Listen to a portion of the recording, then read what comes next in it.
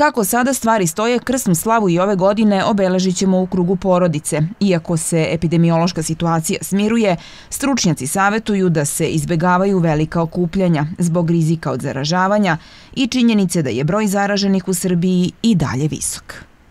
Jel idete uopšte na slave, jel slavite? Ne, ne, Zašto? zbog korone. Pa jel slavite? Da, U krugu porodice ili sa gostima? u krugu porodice. Porodično, Samo u krugu porodice. samo u krugu porodice. Pa vrlo skromna, vrlo, vrlo skromna, ali mora da se poštuju pravila, pošto smo preležali koronu porodično, onda Znate kako izgleda, jel da, tako? da, da. I pa nekako se slava vratila onako onoj tradiciji, kolač, vino, krug porodice i to je to. Da, jeste. Kao što je Jeste. bilo nekada. Kao što je bilo nekada, što uži krug i to je to.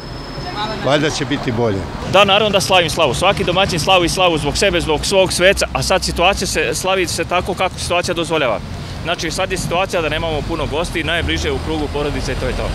U krugu porodice krsnu slavu proslaviće i članovi udruženja penzionera Surčin. Prošle godine, mi prošle godine nismo zvali goste inače koje zovemo. Malo deca negoduju, unučići, malo bi oni hteli svoje društvo i tako, ali dobro, prilagodili su se i oni. Jedan dan zovemo samo tu užu rodbinu, onda oni sutra dan kradom dovedu svoje drugare, pa šta da radimo? Bez gostiju, slavi se u porodičnom krugu. Našu slavu kršten, pa lepo, sve ti Jovan kad dođe slavit ćemo sasvim normalno kao i uvek. Ali nema onih gostiju koji je ranije bilo i dolazilo. Zbog koronavirusa i... Bog, bog korone, bog korone, ipak trebamo se koliko toliko sačuvati, premda sam vakcinisan tri puta i moji su svi, a ima koji nisu i tako da ovaj, moramo se paziti. Juče mi je bila prekjuče.